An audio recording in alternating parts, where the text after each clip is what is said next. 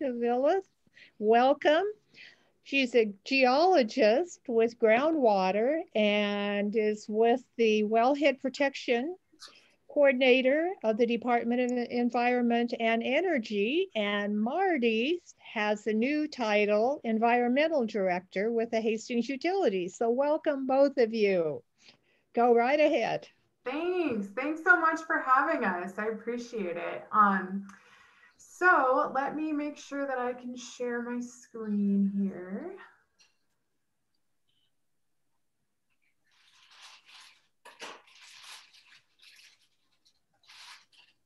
I think.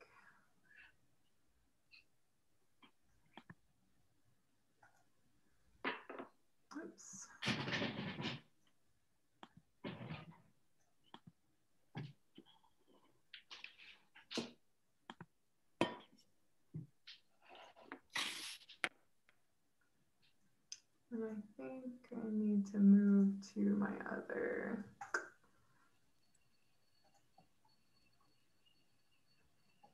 There we go. Can everyone see my first slide?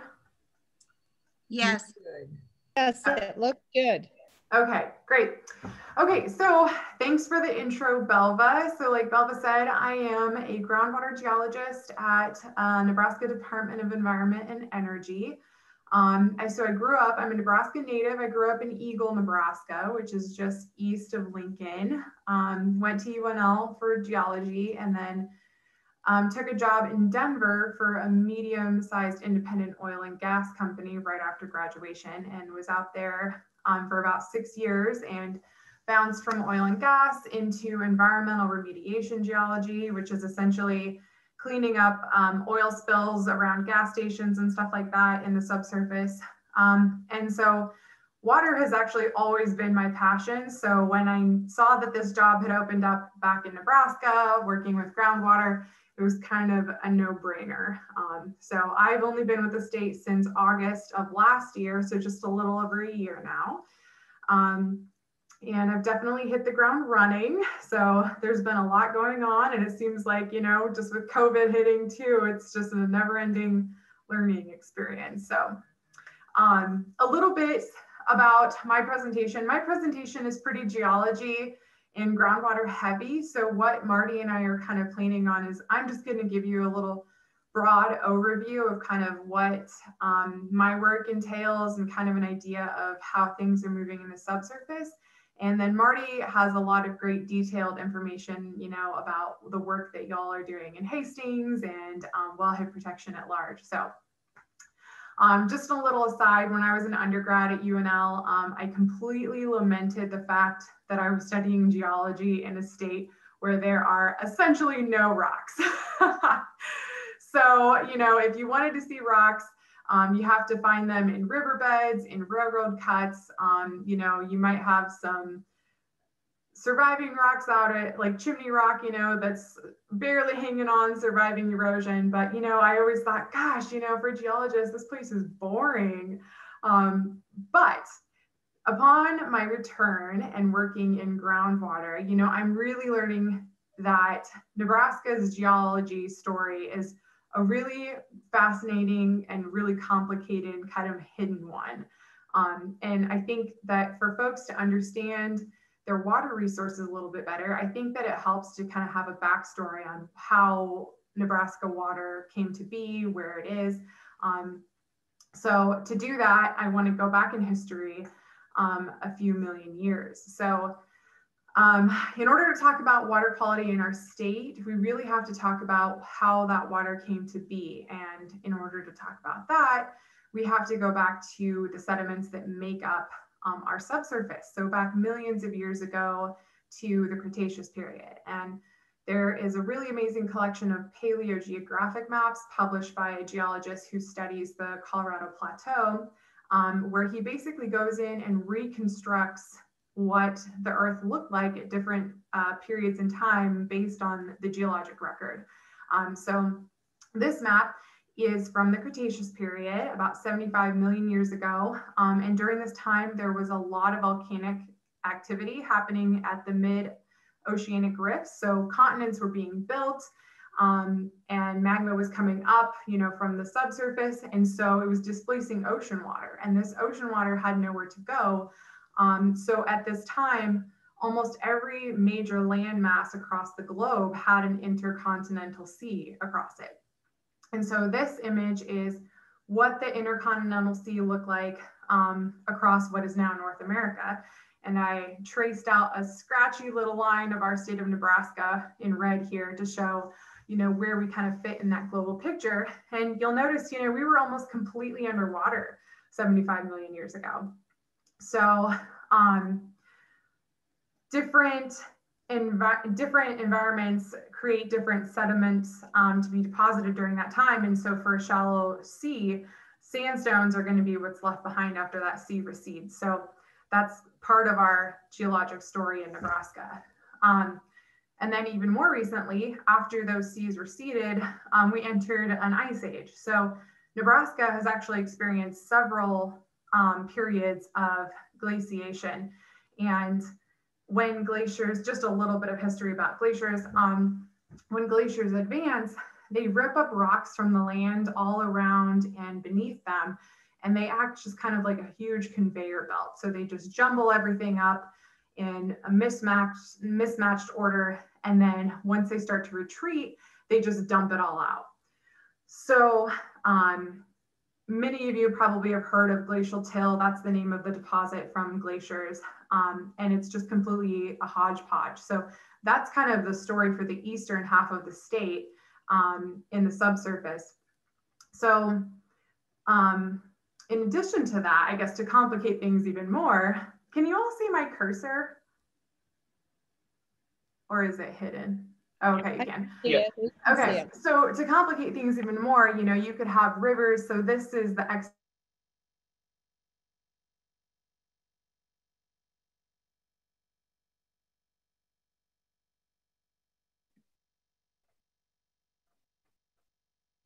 Oh, we oh, lost Okay. We lost your sound. Yeah, Her screen froze for me. yeah. It might help if we all put our, um, stop our videos. Just, Oh, is it is the connection not that great? I don't know. It's, you're popping in and out. You're good now. So I think Okay. that, Okay, sounds good. Um, so this green line is the extent of the most recent um, ice sheet and glaciation in Nebraska. So just a little geologic history for you. Um, so are you seeing, uh, are you seeing my slide? I'm sorry, I want to make sure you're seeing the right thing. Are you seeing the pre the whole presentation? Or are you seeing my slide with the next slide and then the notes? no, we're just seeing your main, the slide that you're working off of currently. Oh, okay, great. Um, all right, so groundwater resources in Nebraska. So this is a map of the High Plains Aquifer System down the middle here, as many of you probably recognize. It spans across eight different states. And um, the varying colors denote the varying saturated thickness of the aquifer, aquifer system. And as you'll notice, we are sitting over the you know bulk of it. So um, that said, we have a major responsibility in the state of Nebraska to be managing this resource um, in the most appropriate way. So what are we using our water for in Nebraska? Um, similar to what the water profile looks like across the rest of the globe, we are ultimately using our water for irrigation here to grow crops, right? Um, the map on the right shows all of the registered wells in the state with a table below that calls out uh, the different type of wells. And as you can see from the density map and the pie chart, um, irrigation in our state is the number one use of wells and then followed by domestic and then livestock wells. So, you know, just looking at the density across the state, you might be able to pick out some familiar areas, some familiar um, river channels,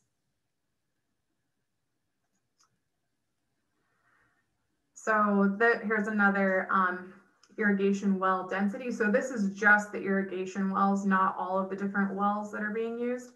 And you know, you can see very clearly how the density of the irrigation wells follows the Platte River Valley and then also up here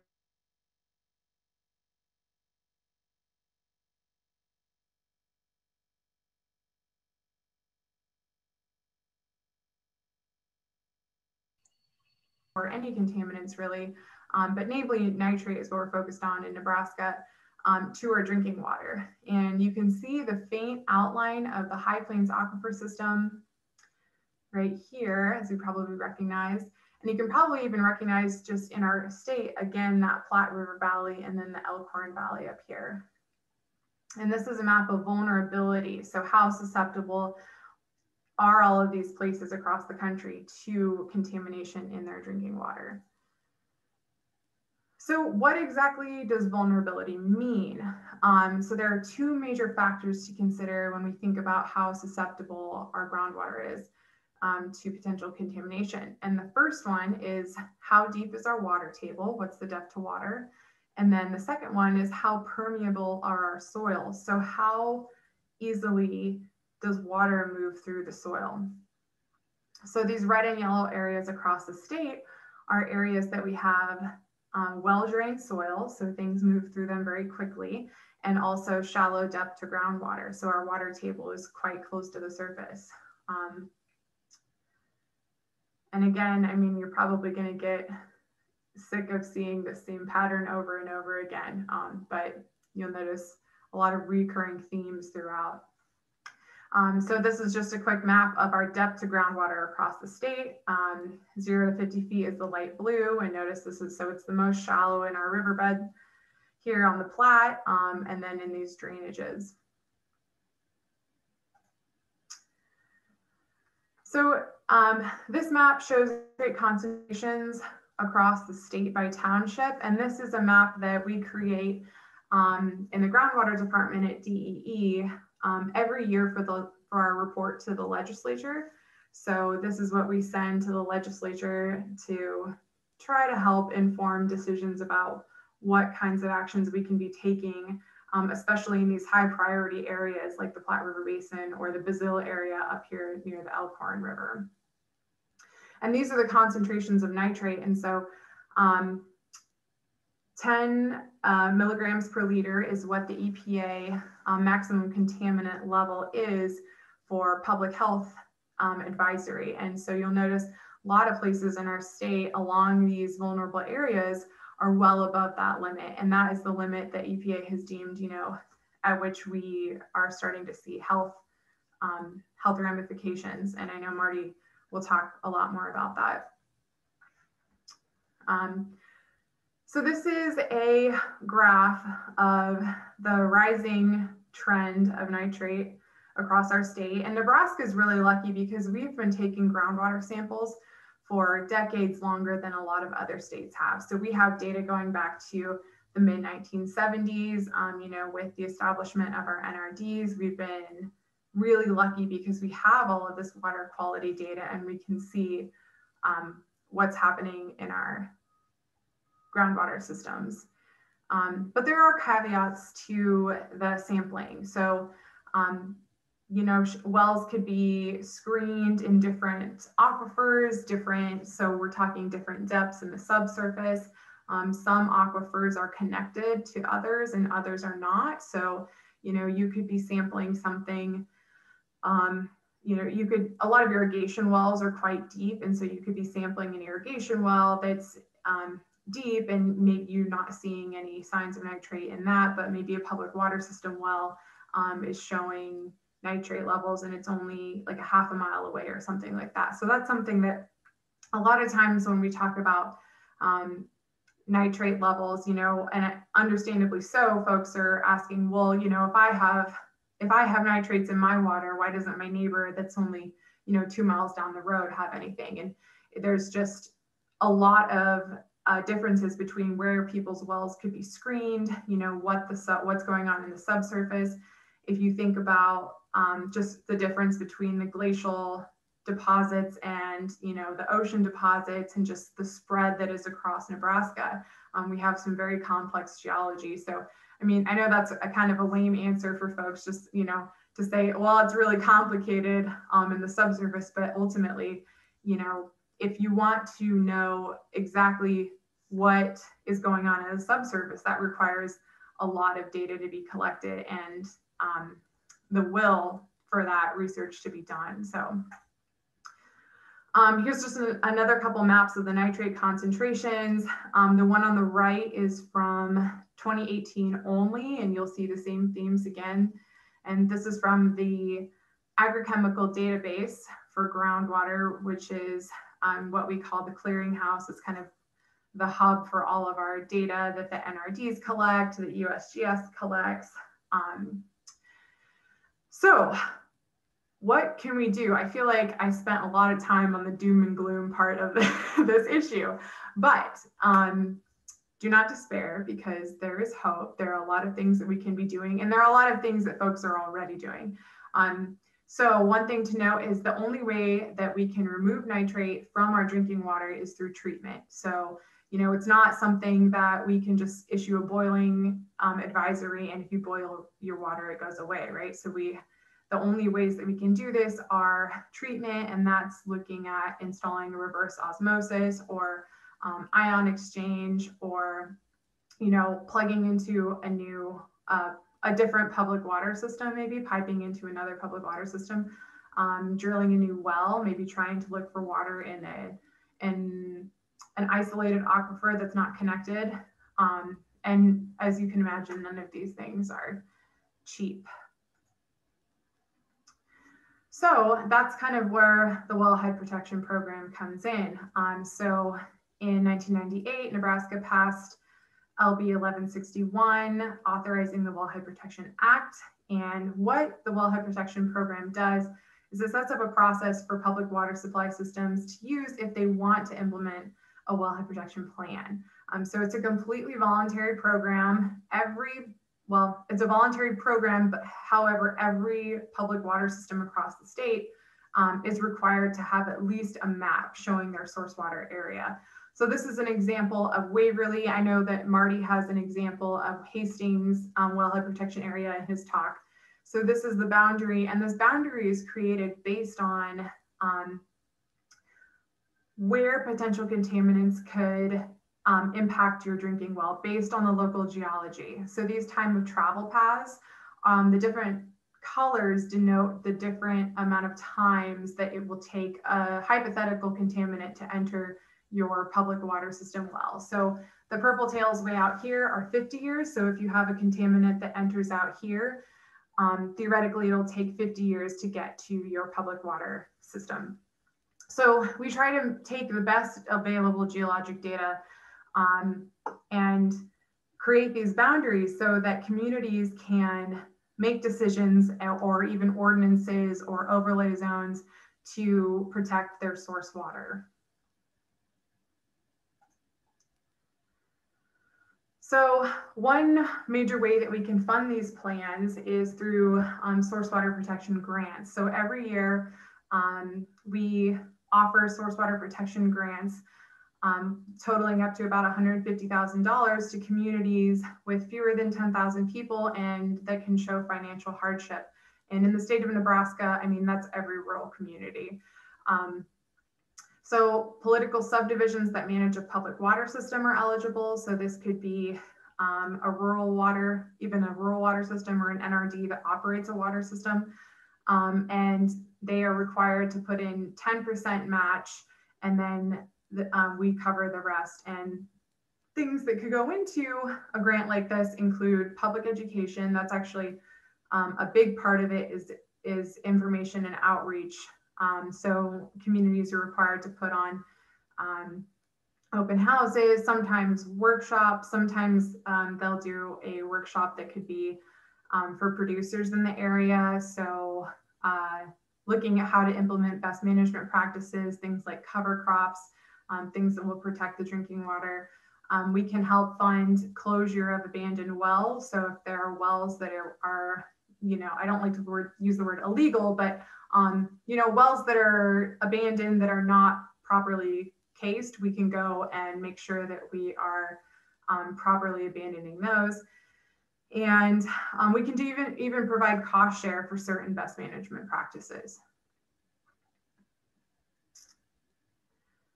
So the process is in a really exciting place right now because I'm working really closely with the folks in Re Region 7 EPA to develop something called a drinking water protection management plan. And so the thing with the drinking water protection management plan is it just gives um, some teeth into what we can be doing on the ground. So a wellhead protection plan while it is useful, it's more of a snapshot of a community's public water system.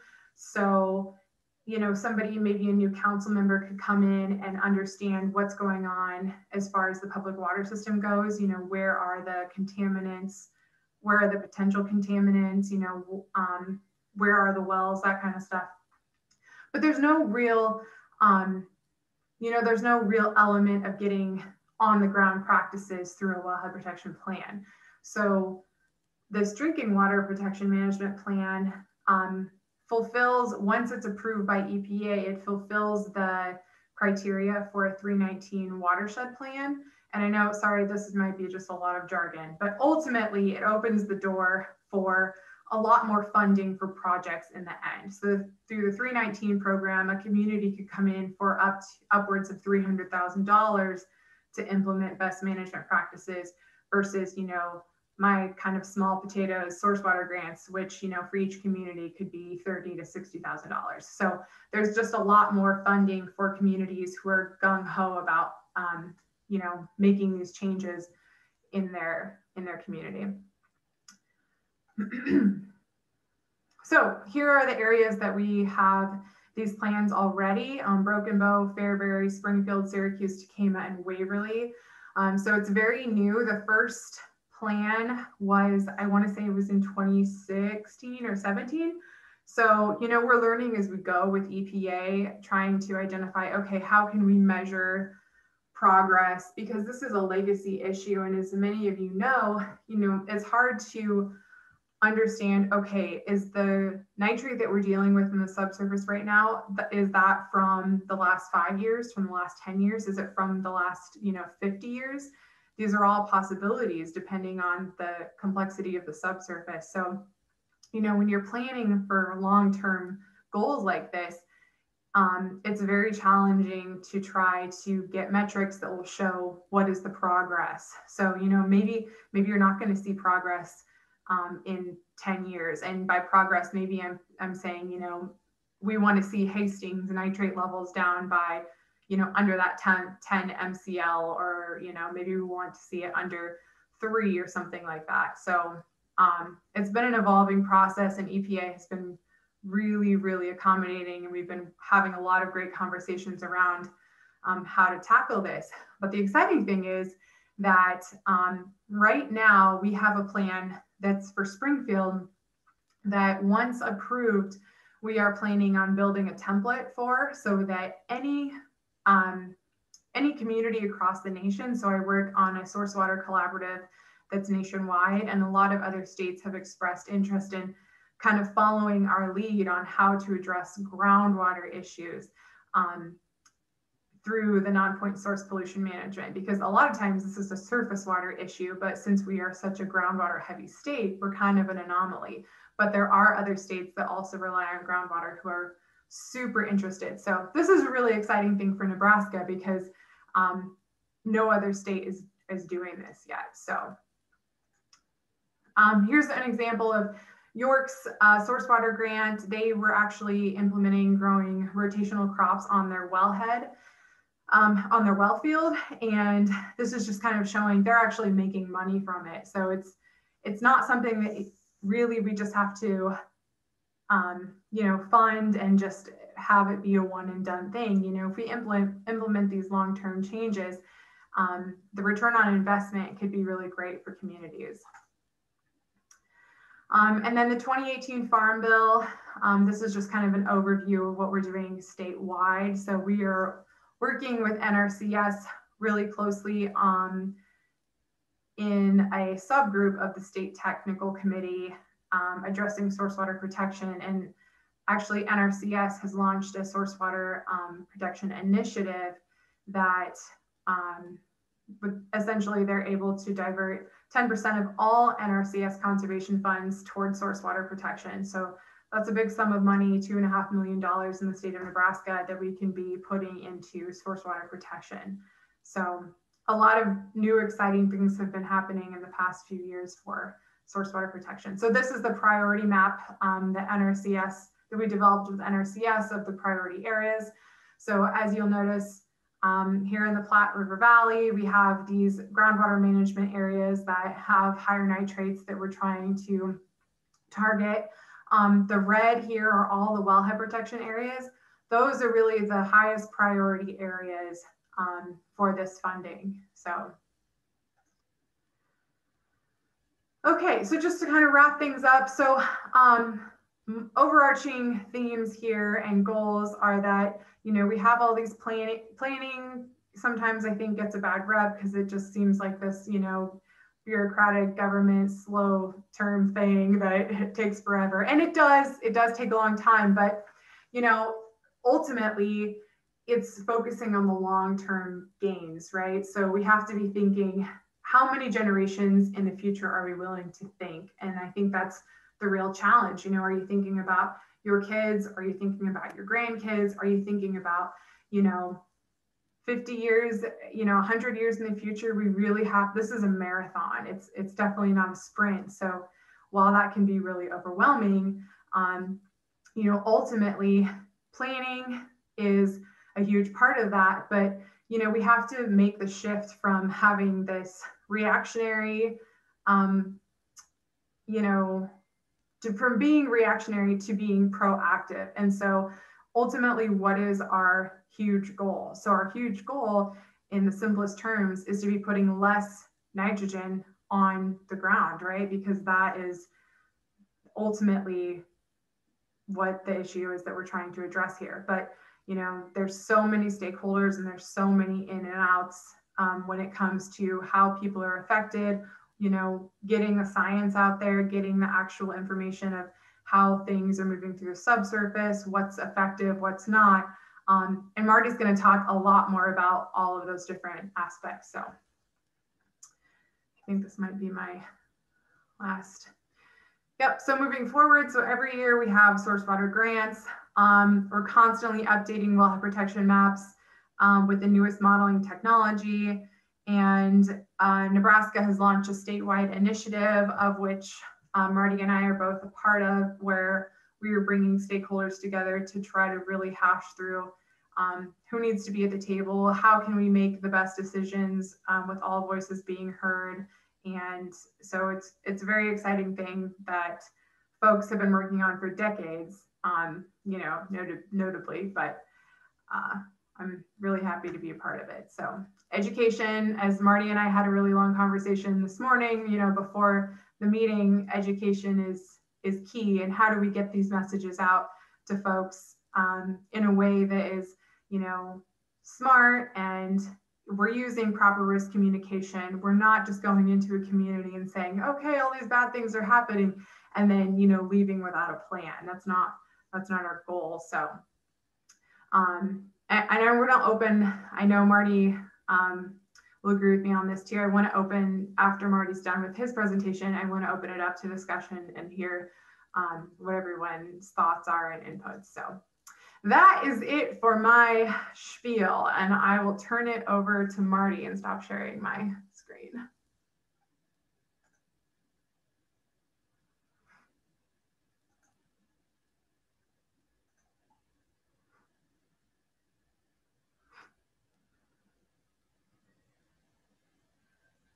Can you see my screen now? Yep. And it's just a single pane? Yeah, it's just a single. Okay, all right.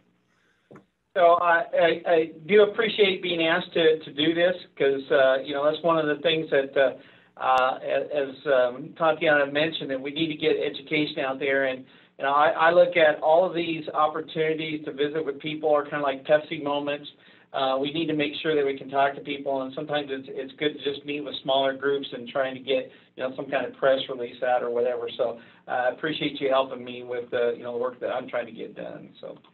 Um, I'm going to do uh, really three things here to, to this afternoon. Uh, I want to just briefly define the problem. Um, I know most of you are aware of this, but just kind of a reiteration of that.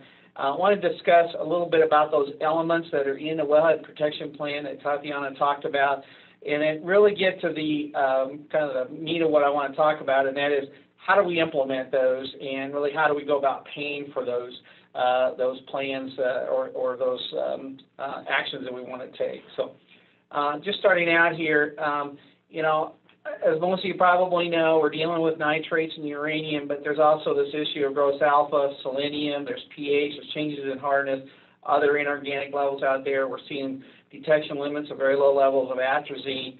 Uh, ultimately, what's been happening is we've been taking wells offline, and uh, of course, the uh, utilities and cities been uh, very proactive in trying to get uh, you know more wells built, uh, come up with a a response to the, to to that, and of course we built some um, uh, the uh, aquifer storage and restoration project, and and that's ongoing.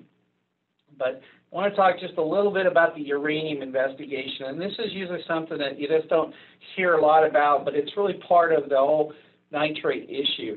Uh, we worked with the university um, and some of the folks there. They did some work in Hastings and Alda, and they were able to tie this release of uranium. Uh, we, we became aware of it when the city of Grand Island was dealing with uranium, and the health department was tell, you know, saying uh, people were getting nitrates, but then all of a sudden they're getting hit by uranium. You know, really what was kind of going on. We noticed that, that our gross alpha was going up, and also our uranium was starting to go up as well.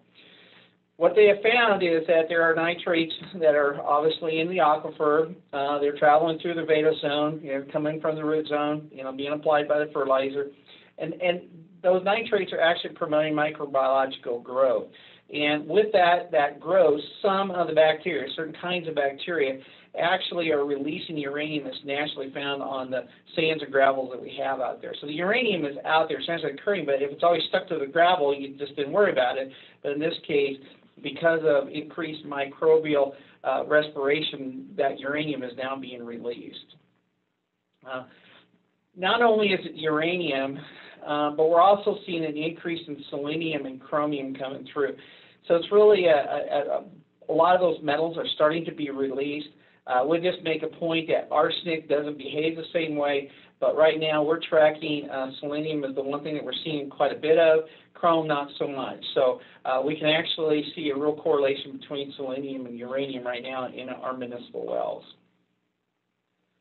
So what's a, what's a water system to do when you have those kinds of issues that you need to do? So, you know, the first thing is you got to identify uh, your uh, um, um, wellhead protection area, define the problem. So based upon those initial uh, investigations that we done, understanding what was coming into our wells, uh, Hastings decided to implement a wellhead protection plan. So what's all involved in that wellhead protection plan? Basically, wellhead protection means protecting the area surrounding public drinking water supply wells and in turn protecting the water supply. So it's not just the physical part of the well, but it's also where that water is coming from. And as Tatiana uh, mentioned, you know, you do modeling, you would show a delineation of where that water comes from. I'm not sure how clear this picture came out, but these red lines that are in here, that's the, the path that water takes. Um, I can just tell you that about right here is the Juniata feed yard, uh, processors up in this area. This is a 20-year travel time. Uh, it's about a 50-year travel time between here and the Platte River. So we've done actually modeling. Uh, we've actually had uh, a couple of uh, different times where we've gotten consultants in and they've actually uh, developed some pretty sophisticated models to show where that water is coming from. So we feel pretty comfortable with that data. Part of the wellhead protection plan is also to identify sources of contamination you know, obviously we thought about feedlots and, uh, you know, agriculture runoff, but you also got to take into account things like the railroads running through here. There's major highways in there. There could be spills, those kinds of things. Are there chemical storage?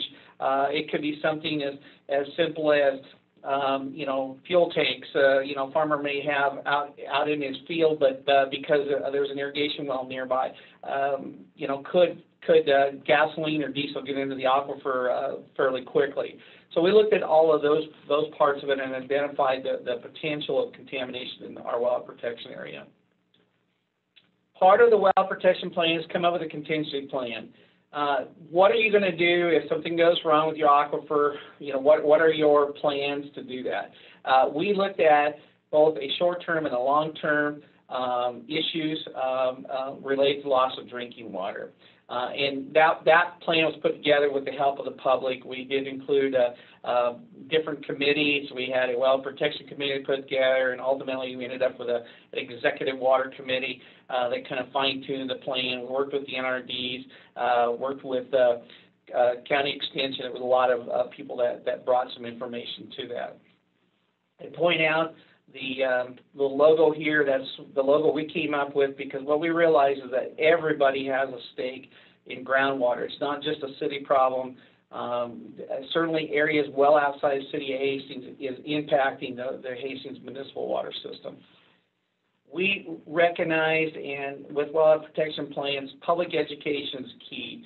Um, I remember one of our NRD uh, um, staff had said that, that a well protection plan is 90% public education, 10% doing something. And, you know, I think he was probably right. It just takes a lot of public education out there. And I'm glad to see, you know, folks like Tatiana helping us with some of that public education and the outreach that we need to make. So I talked about kind of the short-term and long-term action plans. Um, what, what it was determined was that there was no way that there could be a short-term uh, remedy uh, for the aquifer that could protect the uh, water system in Hastings, uh, short of Hastings um, doing water treatment. Uh, we did do a initial plan of uh, just treating the water, and it came up to about $72.6 million. Uh, our board said, no, that's not going to happen. Uh, come up with a better plan, and we came up with what we call the Aquifer Storage and Restoration Project. Uh, got that capital improvement down about $46 million. Uh, happy to say we have not spent only about a third of that right now. And right now we're kind of in a monitoring mode. So, you know, that thing is working out really well. Um, the wellhead protection plan then looked at a long-term action plan. And from that, we developed the Hastings Wellhead Protection Groundwater Management Area Action Plan, and that included the City of Hastings, Hastings Utilities, the Little Blue, and the Upper Big Blue. So there's a three-way agreement uh, that came together to implement best management practice. Um, it does address both nitrogen-based fertilizers and irrigation use. What we determined was that irrigation is a vital part of this. If they're overwatering, they're actually allowing the nitrates to move past the root zone, so then the farmers want to put on more fertilizer because that becomes a limiting part of it. So those two things really have to go hand in hand. And I, I like to say they're kind of the two sides of the same coin. So th- th- we understand that. The, the good news in all of this is that the upper big blue and the little blue, they started with this plan. Uh, it was just for the Hastings area, and um, since that time, since 2012, uh, they have adopted those. Uh, I know the little blue has adopted it for the entire uh, NRD that's out there. So they, this became a template or a, kind of a stepping stone to include that. Uh, since that time, uh, we also got water meters on all the irrigation wells out there, so the farmers know how much they're putting on. Certainly that was a struggle to, to, to make that happen, but at least now they, they can at least monitor the amount of water that they're putting on in addition to the amount of nitrates that they're putting on.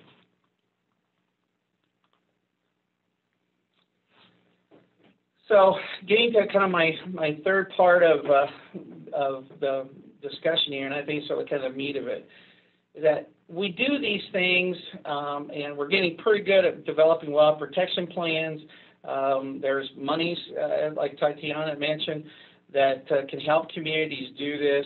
Uh, we were fortunate that we you know, had some, you know, some expertise uh, that we could call upon, you know, as far as getting some modeling and those kinds of things done. Some communities, that's, that's a little tough for them to do. They just don't have the, the, the uh, population base to, to hire consultants, that, that kind of thing. But what, what we noticed is that the, the, the next real big problem is, yeah, you can have a great plan, but if you can't implement it and you can't fund it, that's, that, you know, it just kind of dies at that point. So I think all of us in Nebraska because this isn't just a Hastings problem. You know, we're really facing, okay, you've got a wildlife protection plan, but what does that really mean? And how do we how do we get it implemented? How do we get all the stakeholders that are involved uh, to really buy into this plan? So just want to point out something kind of set the stage for this. That since 1990 through 2015, there we did some work in there, there was actually a 68% increase in nitrates in the Hastings area. And you can see the city of Hastings here, and you can see there's a lot of nitrates that are coming off that Platte River out there. Uh, this correlates well with a couple of the slides that Tatiana had. It shows a you know significant increase in nitrates that are um, you know being found in the in the aquifer. I do want to point out here that that this isn't because the Platte River is bringing it in, it's because these are very shallow soils here.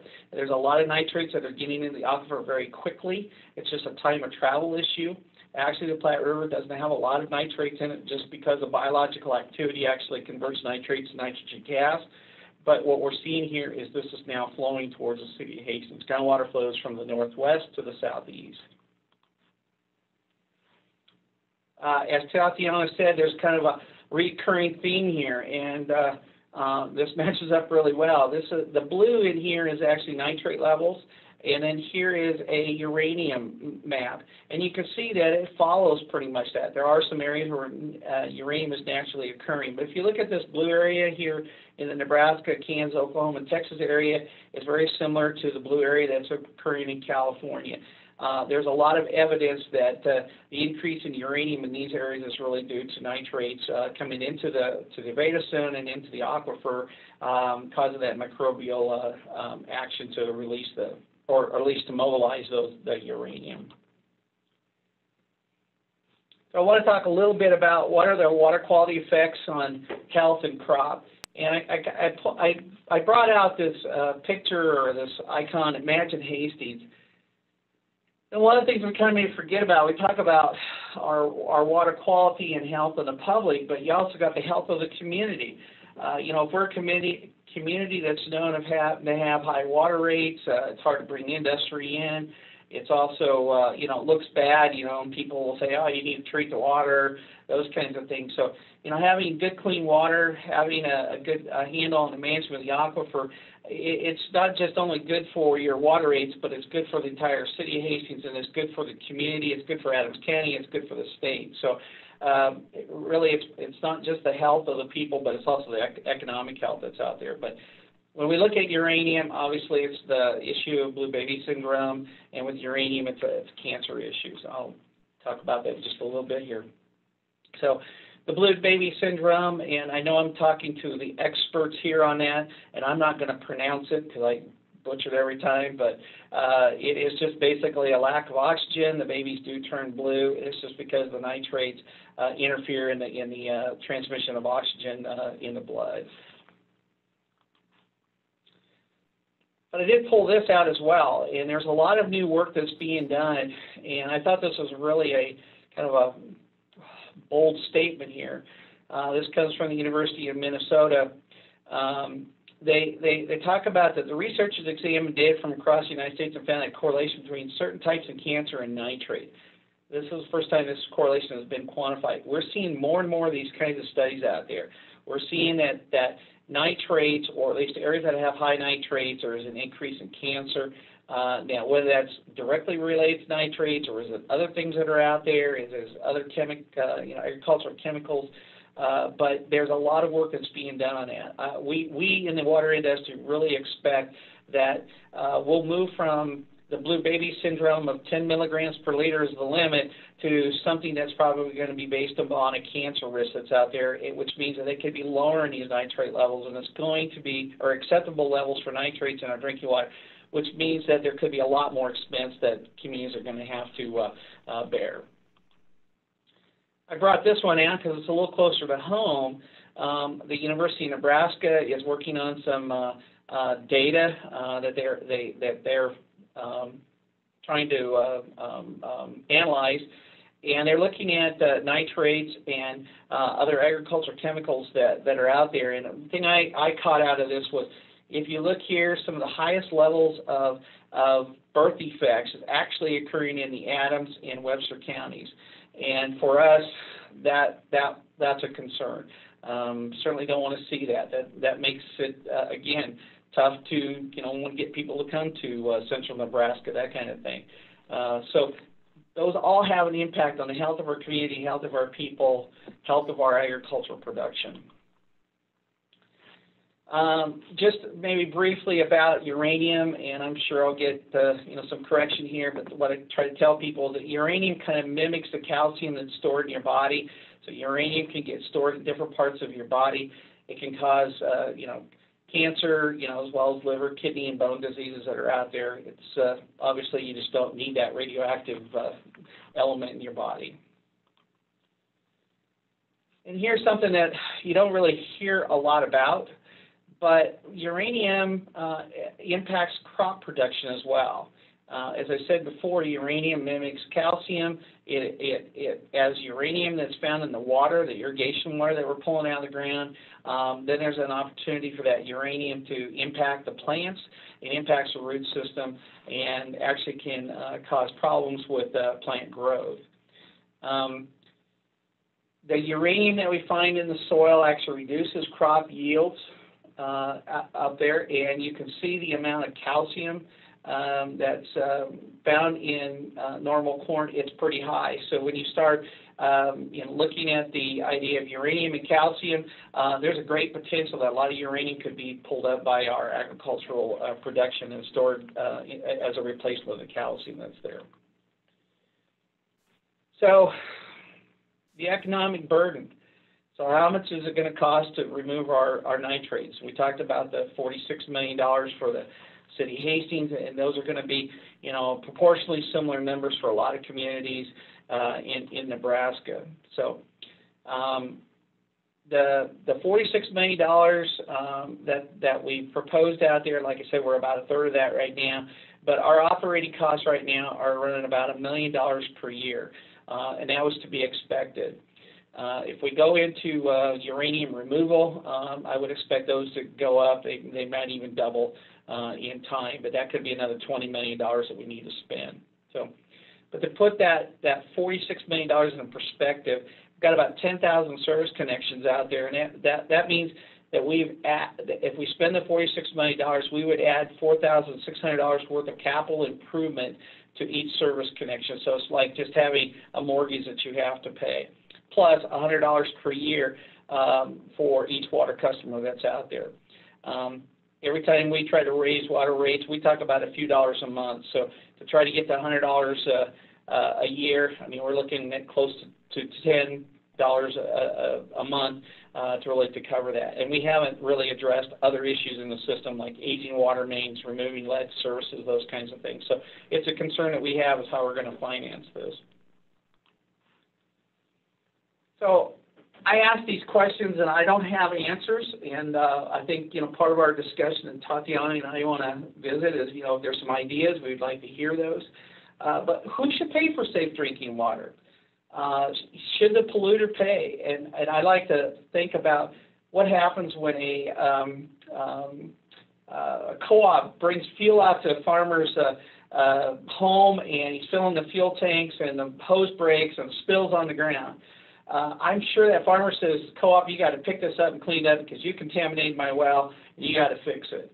But yet on the other side of nitrates, we put nitrates out there and yet the polluter isn't really necessarily paying in this case. So, so the use of nitrates by agriculture means that farmers still make a profit and currently they're still putting on at least 10% excess in the fields based upon what we've been seeing with uh, vadose sampling and so forth. That has not changed. Um, it's really a, a, a practice that, they have. Uh, but they're, they're the ones making the profit, so should the polluter pay um, in there? Um, next uh, thought was, should the NRD pay? Uh, they basically have the jurisdiction and obligation to protect the groundwater. Uh, I will say that the NRD uh, board have been slow to enact rules. Uh, they don't want to add anything to, you know, impede the, the farmers from producing their crop, uh, you know, as far as taxes, as far as regulations, so forth. Um, they had not effectively monitored groundwater. We found that in our sampling that they were uh, taking um, um, water samples from people who wanted to give water samples to the NRD, and what we found was that those people were giving the water samples up uh, because they had good clean water. But the people that knew that they had bad water, they weren't bringing them into the NRD, so their database was really biased. Uh, we certainly changed that with our sampling that we did. Um, I will note that the NRDs, uh, along with the um, uh, NET grants that we get, uh, have been very supportive in studies and plannings. Uh, but we're talking about, you know, lots of dollars well past that planning process. Question that came up is, should the city pay? They're the ones that need the potable water, uh, but they're and they're currently we're financing all that short-term action, but it's the long-term uh, issues of getting the farmers to maybe do better because a million dollars a year just keeps on rolling, uh, and it's only going to get more expensive as time goes on. Do you know is, is, it really a responsibility of the uh, water consumer to have to pay for that treatment even though they didn't cause it or at least be a uh, significant contributor to it. Question i ask is should the federal government pay? Um, as they have implemented cheap food policies to try and feed the world uh, this has caused an increase in demand for increased yields. Um, when we have those cheap food policies, we've kept that price of grain down. These farmers, the only way to increase their uh, monetary gain is to actually increase their yields. So by doing that, they've had to put more fertilizer on, put more water on. Uh, really, our federal government, uh, through some of its policies and so forth, have you know really incentivized farmers to uh, you know get as get as much out of the that crop as they can, and to do that, we've in, a way uh, have contributed to the groundwater contamination. Um, ultimately, that cheap food policy is um, uh, a benefit to those countries that we sell that, that, that grain to. Uh, if we sell them cheap grain, they're in essence uh, taking advantage of the environmental damage that we have here in Nebraska by, the, by that production of crop. Uh, obviously, we're not collecting money from them. They're, they're getting the benefit of the cheap food, but yet we're, we're paying the, uh, the, the price here. And I know that there's lots of social and political impacts to it, but just want to point out that there's a lot of different players that are in this. Um, you know, one of the things that, that has occurred in the recent uh, years here is this, this need for more alcohol uh, for uh, automotive fuel. Um, we've had uh, cheap corn prices out there, cheap soybean prices. So one of the ways to uh, boost those prices was to try to increase the demand for um, corn and soybeans here in Nebraska uh, by making alcohol.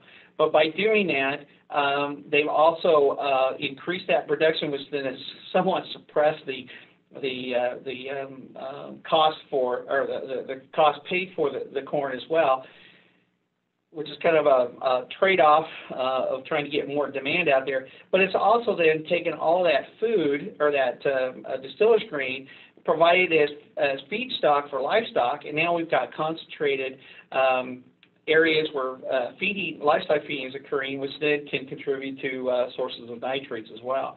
So there's a kind of a feedback or consequences of trying to increase the demand for uh, grain uh, to produce alcohol. And again, we're producing alcohol and we're really not feeding the world. So uh, it's really a conversion of, of, of food into energy. So again, who pays for the safe drinking water? One of the things that I looked uh, that that I'm trying to get a, a, handle on here was that as we increase that production, that may be a a, a benefit, but unfortunately to the farmer, but unfortunately it's a short-term benefit because as they try to increase their income, it ultimately ends up with an even larger surplus because everybody tries to get into it, and so then there's more more grain that's being uh, produced, and then we got to find ways to get rid of that. Uh, so should the government pay farmers to not produce? But is this really agricultural welfare? Um, I'm not sure that that's an answer either. Uh, I don't know that uh, farmers don't want to. Uh, I don't think farmers want to get paid not to do anything. They really want to be producing. They want they, they want to feed the world. But in a sense, is that really the, the right thing to do? Um, should the fertilizer companies pay? They're they're making profit in this as well. Um, they sometimes are in a position where they recommend fertilizer applications that are out there. Uh, I see it as kind of the problem of the fox watching the hen house. Um, how do you know that they're making uh, uh, decisions that are best for the environment, best for the groundwater, and not necessarily best for their uh, uh, bottom line? This cheap food policy isn't just for folks outside the United States or outside the state of Nebraska. It's also right here. I mean, we benefit from having uh, fairly uh, uh, cheap food prices. And, and, granted, we don't make a lot of food that we eat here, but it's all part of the whole cheap food uh, price uh, policies that we have. So, should the consumer pay? They're they're they're they're getting some benefit out of that. Then I, I bring up which is probably a, a, a close to the answer is, but should this be a combination of responsible parties? Um, should we be bringing these different stakeholders in there? Um, you know, one of the, the thoughts I had here, I, I had an opportunity to interview a banker um, to talk about these kinds of, of issues, and I said, you know, in a sense, if the farmer puts on excess fertilizer, you're actually gaining. And that's because they're having to get more monies for their operating loan, which means that they pay more interest. So from a, a banker standpoint, if he got all of his, uh, you know, uh, customers out there uh, that he's loaning money to to do a better job of, of putting nitrates on, uh, he'd actually probably see less money that he needs to loan out. So, you know, where does he stand in, in the mix of things as well? Though I don't think any any banker is recommending they go waste it, but but it's all part of of the interaction between uh, food production and the uh, the issues of nitrates that we're dealing with. So another problem that I see here in trying to get wellhead protection uh, issues or plans, regulations, whatever, uh, implemented is just this competing demand for resources. Uh, you know, I, I, throw this up. Um, you know, the you know everybody has these competing uh, concerns. You know, where where should I put my efforts at? You know, COVID nineteen, I put that on there. Obviously, we're doing that, but it's cancer. It's you know, how do we help uh, you know our community through United Way, domestic violence, all those things. You know, how how do we get people to you know say, hey, this is important when there's all these other things that are just as important as well. You know, getting the public and responsibilities to find a solution, I think, is going to be a, a tough challenge. We don't have any answers. Uh, folks like Tatiana, I, you know, I, I like to see her energy and so forth out there. Uh, we've got good people that are working on it, but we're going to need a lot of help on it. This is this, the, it was it, it was easy getting a uh, wellhead protection plan, but it's a lot harder to get it to be adopted and to create uh, really change in our, our in our uh, um, area with the farmers and, our use of nitrates. Um, you know, how do you get this message out without seeming like you're crying wolf? Uh, you know, I have a lot of people just say, "Oh, you're always talking about nitrates." Well, yeah, it's there, but you know, I I, I got to keep talking about it because if I don't, who is, right? Um, you know, how do, how do we get the factual information out there? I, this this is a, a, a problem I see here is that we've got people that um, you know think that they know a lot about what's happening in their aquifer. Um, and I'm just going to give this example. I, I had several farmers tell me that I put a foot of water on for my crop, but my wells went down three feet. How can that be? Well, in their own mind, they think it's just a bucket of water down there. But the aquifer is only a third of it is porous space. If I take a foot of water out, I have to drain three foot of the aquifer.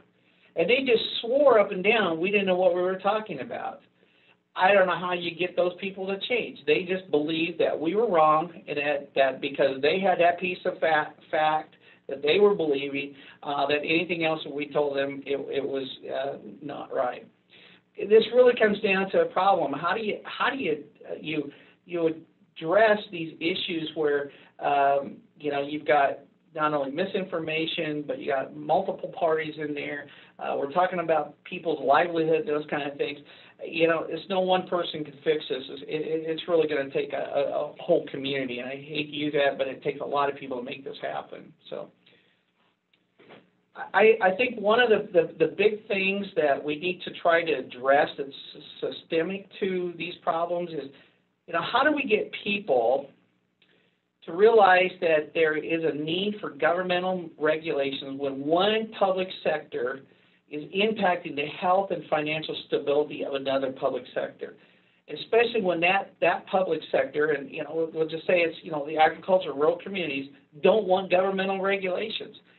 You know, without government re regulations, I'm not sure how you would get some things changed. It's really a change in social behavior um, I think that it, it's you know that's an area that we really need to work on.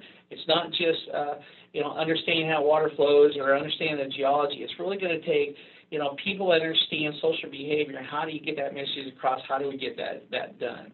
Um, I think a little bit of, of the things that we could um, could think about here is like fire departments have always said, you know, stop, drop, and roll. You know, all kids know that now um, you know, they, they effectively have gotten some social change taking place. I'm not sure what we can do with groundwater, but but those are the kinds of things we need to do. We need to get a social change to take place. And when you really look at social change, it's really a tyranny of small decisions. Every farmer I talk to out there says, "Yeah, but you know what I put on, it's it, it's insignificant." That's true, but it's it's everybody's doing it, and all those little pieces add up to too much. It's the straw that breaks the camel's back. Um, but to get that information out to them, get them to understand that they need to do their part, it, it's tough. So uh, as you can see, there's no good answer to these problems. We're looking for help. Um, you know, I'd, I'd, like to say that we're, you know, we've got it all taken care of. You guys can go, you know, go, you know, you're home now. But uh, at the end of this, you say, oh, you, you know, they got to take care of. But the issue is we're needing lots of help, and so I would extend a, a kind of a, um, a request that if there's anything that you guys can do to, uh, you know, help us or got some ideas, we want to hear about it. Uh, so to address the environmental and financial issue, it's going to re require a change in society's priorities. Uh, it's going to be tough to do. So with that, I'm, I'm done. I'm talking. I'll be happy to answer any questions you have. Um, I guess before we get into questions, Chris, do we need to keep this at a timeline, I wonder? Do we have time for questions? We do. We do? Okay. Thanks for asking, but yeah. Okay. All right. Questions then. Marty, what's the term gross alpha? the gross alpha is the, the gross alpha radiation that we're seeing in the water so it's the it's the proton coming off, and it's not the uh, gamma radiation, but it's the gross alpha radiation. So that, it's related to the uranium. Yeah, and what it is, it'll it'll not just be just uranium, but it could be any of the uh, daughter products from the uranium that's breaking down. You will see that uranium uh, giving that gross alpha off and we, we've seen that out there. So it, it, what it was, it was kind of a, an indicator, litmus test of, of what we could see out there that was starting to take place. Um, my next question is how much does the um, fertilizer we put on domestically in Hastings for our green lawns contribute to the nitrite levels, nitrate levels? I, am really glad that you asked that question because we've done uh, the second round of Vadose zone sampling. We went back to the same 20 sites that we did in 2010 and 11. We did, did this again in 2016. From 2011 through 2016, the farmers' uh, nitrate um, that's stored in the vadose zone between the root zone and the aquifer increased by uh, 42%. And I might get there on my 43, but, but over 40%. The nitrates that are in the Vadose zone in the Hastings area, the, the town of Hastings, actually decreased by 30%. Oh, we have got it turned around. Um, and it's turn around pretty quickly. We're pretty pleased with that. I, I have to, to put a shout out to uh, a lot of the, the larger uh, areas like the golf courses and those folks and the lawn care companies have really gotten on board. They've done a lot of this themselves. Uh, once we kind of got into it, we realized they, they realized there was a problem out there and they really started uh, to address it. If you don't know this, they're kind of sneaking in the uh, the idea that everybody wants green lawns, but they're not doing it with nitrates. What they're doing is they're adding a little iron sulfate to their mixes, and it makes the, the grass look darker. And so people think that they're getting a good fertilizer component, and which is which is good. But they they understand that having a healthy mix of nutrients is better than having excess nitrogen. Um, another question is: Is EPA still pumping water at, at the Superfund sites? Yes, they are, uh, and they're at various stages and so forth. We're still pumping water for the Well D project. Yeah.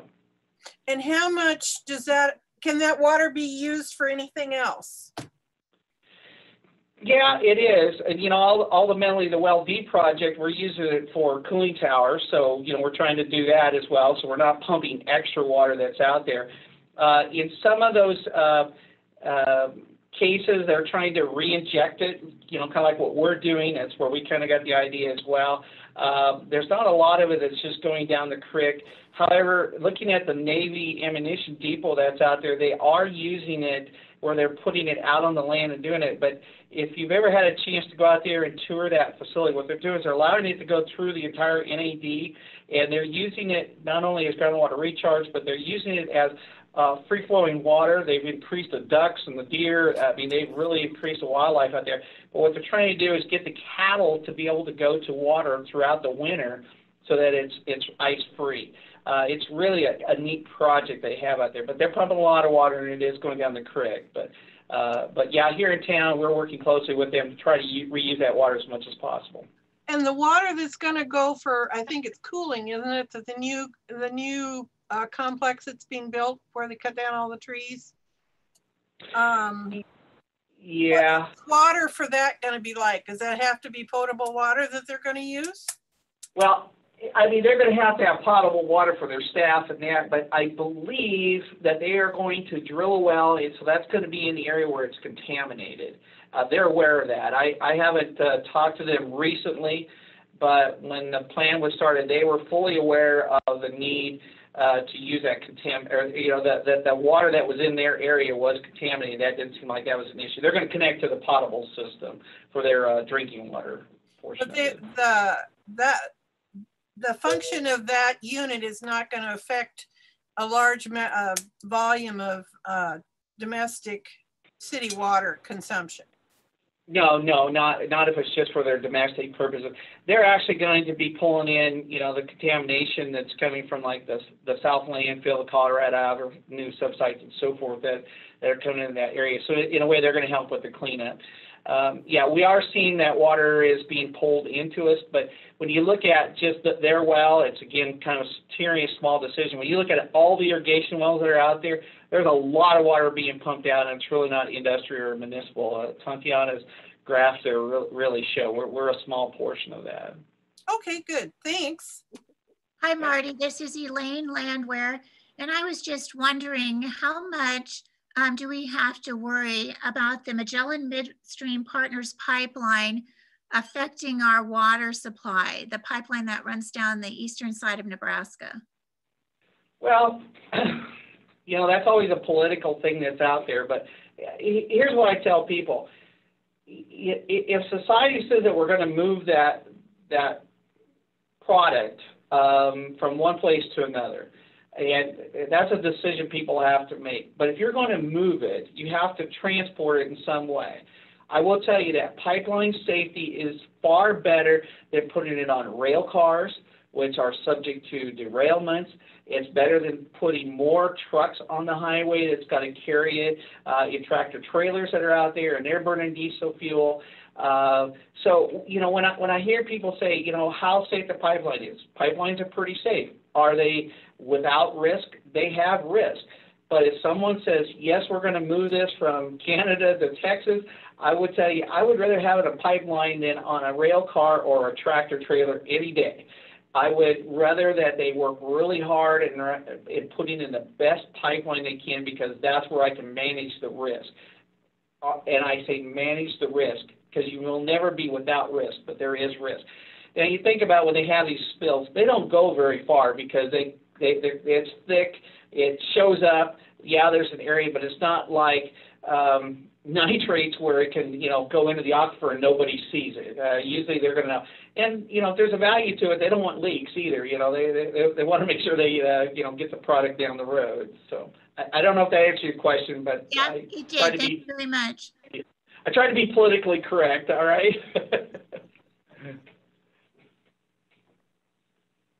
Are there any other questions? Actually, I have one, and it's, it's going to show my ignorance when you were talking about the need for public education about all this, my mind jumped to the inserts that come with the Hastings Utilities bills.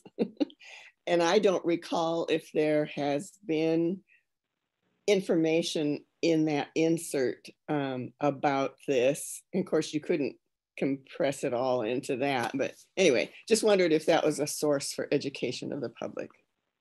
Yeah, uh, Brian Strom up there has been working on those. I give him uh, little little articles. Usually they're a paragraph or two to do that. He's, he's been trying to get those in there. Um, what's really, I think, a benefit to the city now is we do have a PR person, Amanda Scott.